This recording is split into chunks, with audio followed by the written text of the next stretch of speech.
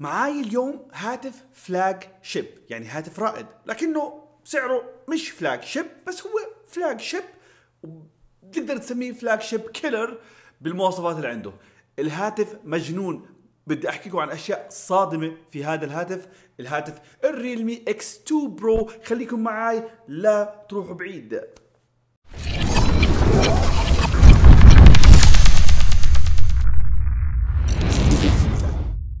السلام عليكم أصدقائي أنا سيزار برحب فيكم في قناة سيزار Reviews أهلا وسهلا بالجميع صار لي كم يوم بستخدم الهاتف ال Realme X 2 Pro. هذا الجهاز صدمني بصراحة ببعض الشغلات. بدي احكي لكم عنها قبل فيديو المراجعة الكاملة اللي بدي اشرح فيه الجهاز. ولكن فيه بعض المواصفات سريعا سريعا ما راح أطول عليكم إن شاء الله. يعني مجنونة فعلا. أول نقطة. مش التصميم. سيبنا من التصميم. أول نقطة الشاشة. هاي الشاشة Super AMOLED. 6.5 إنش محمية بطبقة من Corning Gorilla Glass 5 الألوان جميلة جدا جدا. يعني سامسونج. هي عبارة عن شاشة من سامسونج وأعطتها بس ل Realme فأنت فعليا قاعد بتستخدم من أهم أعضاء سامسونج اللي هي الشاشة Super AMOLED على جهاز مش flagship يعتبر. لأنه مش flagship بس هو flagship. وقاتل ال flagship لكن لا نتوقف عند الشاشة هون فقط وإنما هاي الشاشة عندها سطوع بقدرة 1000 nits خلينا أقارن لكم جهاز ثاني بتعرفوه. ال OnePlus أعتقد ال OnePlus عنده 500 nit هذا 1000 nit قدرة السطوع تبعته. تعال نجرب. ومش بس هيك في كمان ميزة لهاي الشاشة المجنونة. هاي الشاشة تدعم 90 هرتز معدل التحديث في الثانية مما يعني إنك حتشوف إشي سلس. يعني شوي شوي ممكن ما تحسش فيه ولكن مع الوقت تتعود عليه. أو تقارنه بأجهزة ثانية بصير تتعود عليه. ولكن الميزة موجودة في هذا الجهاز وهي موجودة بأجهزة أغلى 90 هرتز زي ال OnePlus 7 Pro وآخر ميزة فيها بالنسبة للشاشة إنها بتدعم ال HDR 10 plus. هاي المواصفات يا إخوان اللي بحكي لكم عنها ككلام أو ك specs عن جد هاي موجودة بهواتف رائدة فقط. هذا التليفون لما أعلنوا عنه في الصين أعتقد السعر كان 400 دولار. عارفين شو يعني 400 دولار؟ لا يقارن مع اجهزه ب 800 دولار 900 دولار. هذا 400 دولار. يعني الرقم صراحة مجنون. أوكي خلصنا من أول نقطة نحكي عن النقطة الثانية. النقطة الثانية أكيد حيكون الأداء. لما بتحكي هاتف 400 دولار يعني تتوقع أوكي أداء جيد. هذا الأداء من هنا ممتاز خرافي. عندك Snapdragon 855 Plus plus plus. فيعني عندك أفضل معالج موجود 2019 مبني بتقنية 7 نانومتر. هاي يعني لحالها رهيبة بصراحة. على جهاز 400 دولار في الصين. بصراحة أنا عملت له test يعني رحت جبت برنامج ال AnTuTu وعملت له test عملت له run فالرقم اللي طلع معي 400 ألف 492 ألف نقطة تقريبا وهذا رقم من أعلى الأرقام. يمكن هو بالمرتبة الأولى أو بالثانية يعني بدك تشوف ال Asus ال Asus ROG وال Black Shark شاومي هذول الأجهزة الثلاث هم اللي بتنافسوا على أفضل يعني أداء. فالأداء اللي هون أخذناه بصراحة مجنون. الأداء رهيب. يدعم هذا الأداء. مثلا الجهاز اللي عندي 12 جيجا بايت RAM و256 جيجا سعه تخزينية على هذا الجهاز.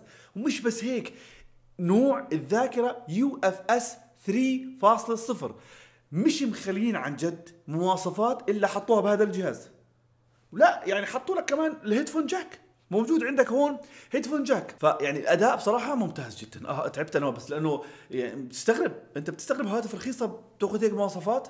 طب بلاش. اعطيكم كمان ميزة بعض الناس حتحبها البعض الآخر يمكن مش فارقة معه. ولكن هذا الجهاز عنده stereo speaker. سماعة فوق آه، سماعة فوق سماعة تحت.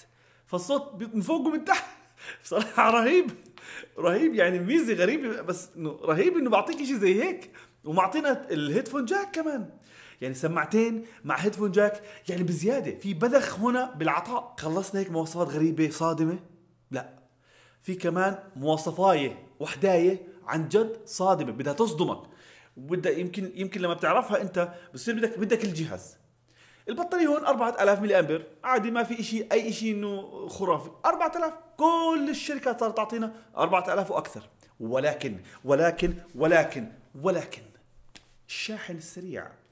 Super VOOC flash charging 50 واط. نعيد 50 واط. قدرة الشاحن هون 50 واط. خلال 35 دقيقة سوف يشحن تليفونك من صفر ل 100 لما كنا في المؤتمر وبلشوا يشحنوا فيه ورجونا يعني لايف نشوفه بعيننا بتحسوا زي كأنه كذب.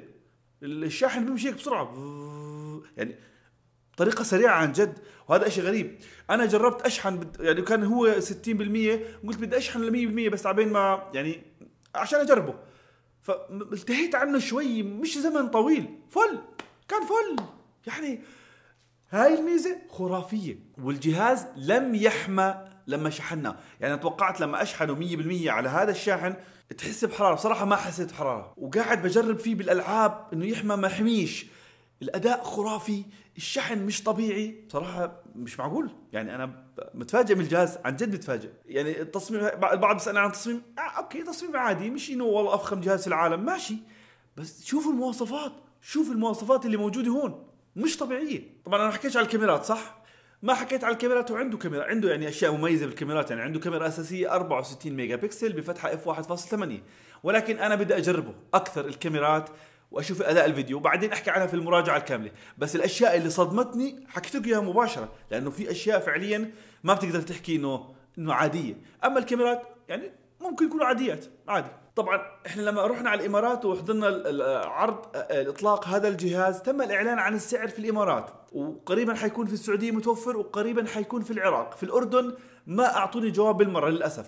فالأسعار المتوفرة لدي حاليا السعر الرسمي في الإمارات 2000 درهم لهذا الجهاز. أعتقد النسخة 8 جيجا مع 128 جيجا. لو بدي أحوله دينار أردني 400 دينار لو بدي أحوله لدولار 600 دولار. فالفرق كبير وشاسع ما بين السعر عندنا في بلادنا العربية والصين. ولكن لساتني بشوف إنه حتى لو 600 دولار أعتقد إنه السعر جدا جدا قوي.